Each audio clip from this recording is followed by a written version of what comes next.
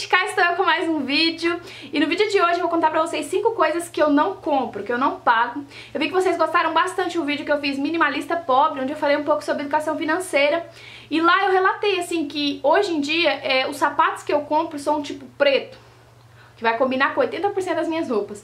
A mesma coisa bolsa. Vocês ficaram bem interessados, falaram, nossa, conta outras coisas que você não compra além dos sapatos coloridos.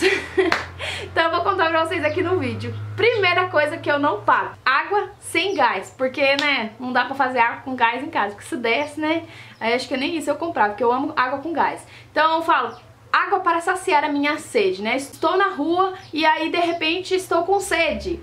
Eu não compro água, eu levo água, então eu sempre carrego comigo uma garrafinha e sempre que eu tenho oportunidade de chegar num lugar que tem bebedouro, aqueles bebedouros filtro, né, que tem água gelada e água natural, eu encho a minha garrafinha. Então, eu não compro água, eu morro de dó de comprar, porque água é que você consegue de graça. Gente, que você consegue de graça, agarra com as duas mãos.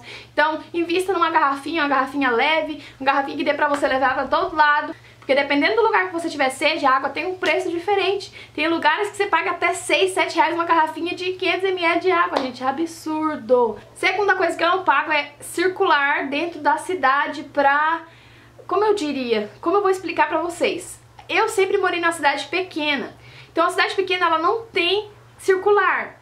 As coisas, pra você ir atrás, você pega uma bicicleta, você vai a pé, é, algumas coisas são bem mais perto, outras você tem que andar um pouco mais, então quem mora em cidade pequena é acostumado a andar. Então, eu chego em Morama, eu conheço Morama, olha, pelo menos o centrão ali eu conheço muito bem, porque, porque eu ando lá, né? Além de eu aproveitar o caminho, perder umas calorias, eu ainda economizo. Eu economizo três e pouco pra ir, três e pouco pra voltar. Seis reais, gente, seis reais, junto com a economia de mais seis reais da água, o quê?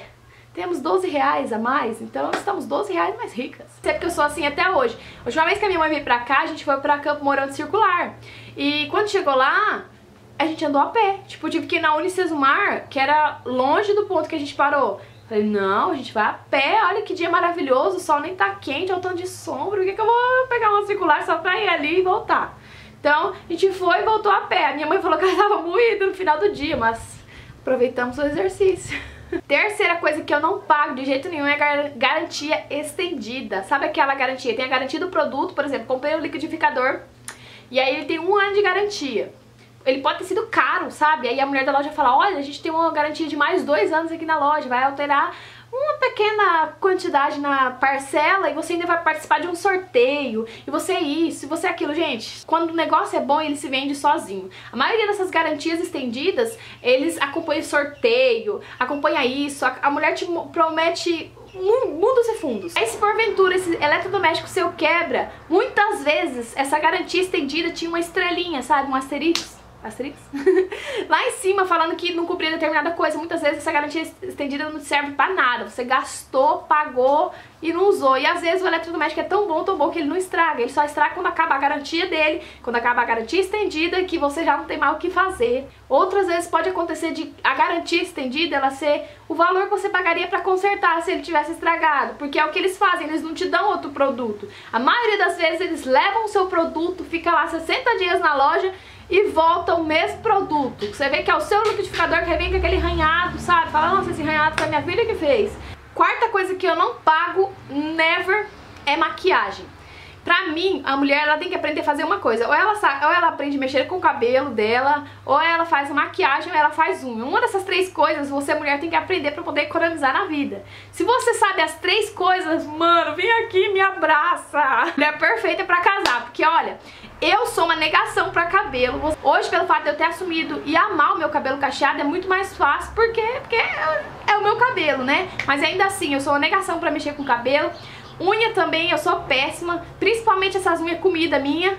E aí eu falei, eu preciso saber alguma coisa, porque Porque alguma coisa eu tenho que economizar. Então eu aprendi a fazer maquiagem, fiz curso online, eu treinei bastante, então eu aprendi a fazer maquiagem, inclusive eu fazia algumas maquiagens no pessoal na minha cidade, para da minha igreja e tal porque é um dinheirinho que às vezes eu ganhava extra, só que também que eu economizava. Então, toda vez que eu vou num casamento, sou eu mesma que faço as minhas maquiagens e olha, não fica desejado. Solta aí algumas fotos de algumas maquiagens que eu faço pra, tipo, datas comemorativas. Então, aprenda a fazer alguma coisa pra você falar, ó, eu não pago isso. Quinta coisa que eu não pago, na verdade, são várias. Mas especificamente são coisas que eu tenho o poder de fazer e o tempo, né, claro, porque às vezes você tem o poder, você consegue fazer, mas você não tem tempo de fazer, que é lavar carro, sabe? Por exemplo, eu não levo meu carro pra lavar, não levo.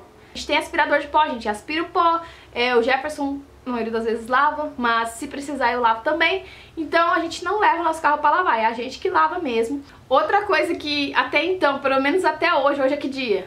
Não sei, mas é abril de 2018. Até hoje não, a, a condição não me, não me dá coragem de pagar a diarista, porque assim, eu tenho uma casa grande, pagar um diarista uma vez por semana seria ideal, porque ela ia fazer uma limpeza geral e o resto da semana a gente ia só manter. Só que eu não tenho coragem de pagar 80, 100 reais uma diária, mesmo sabendo que a casa ia ficar impecável, porque 100 reais é dinheiro pra mim. O dia que 100 reais pra mim for mesmo que 10 reais, daí eu, eu pagarei, porque assim... É sonho de consumo isso, né? Mas eu não tenho coragem de pagar. Às vezes eu tenho dinheiro, eu falo assim, nossa, eu tenho 200 reais. Eu falo, nossa, se eu pagar 100 pra alguém vir aqui limpar minha casa, e não, não. Eu, eu gosto muito de me confortar, sabe? Às vezes eu falo pro Jefferson, ah, amor, eu não tô trabalhando na minha área, né? Mas suponhamos que eu estivesse trabalhando e ganhando uns dois mil reais. Aí ele, ah, se eu tivesse ganhando dois mil reais, eu ia ter que gastar uns 500 reais pra poder manter a Mariana numa escolinha ou pagar a babá, provavelmente seria escolinha, né? Que aí eu não ia ter tempo de limpar a casa, nunca. Eu ia ter que, às vezes, muitas vezes pedir marmita, dependendo do dia do serviço estiver puxado, a gente ia pedir marmita pra comer, então eu já ia gastar um monte. Aí ia me sobrar uns 600 reais, uns 500 reais pra poder empregar dentro de casa. E ele fala, amor, eu ganho mil reais sozinha em casa. Você não acha que, é, que compensa muito mais? Porque eu, eu não pago babá, eu, não, eu limpo a casa, eu cozinho. Aí ele Amor, você é visionária. Às vezes, o dinheiro que eu ganharia, sabe, é, que seria mais do que eu ganho hoje trabalhando fora, é, não teria tanto valor como antigamente, porque antigamente não tínhamos Mariana, antigamente não tínhamos uma casa tão grande. Então, por enquanto, vou permanecer em casa. É isso, gente. Essas foram as cinco coisas que eu não pago, que eu não tenho coragem de pagar, mas não são só essas. Se vocês gostarem desse vídeo, clica bastante em gostei que eu trago a parte 2, onde eu conto mais cinco coisas que eu não pago, que fazem de mim uma pessoa... Gente, eu não sou mão de vaca, eu sou assim, eu valorizo dinheiro, sabe? Eu não gosto de desperdício. Esse, esse é o meu lema, mão de vaca não. Fiquem com Deus, beijão, tchau, tchau.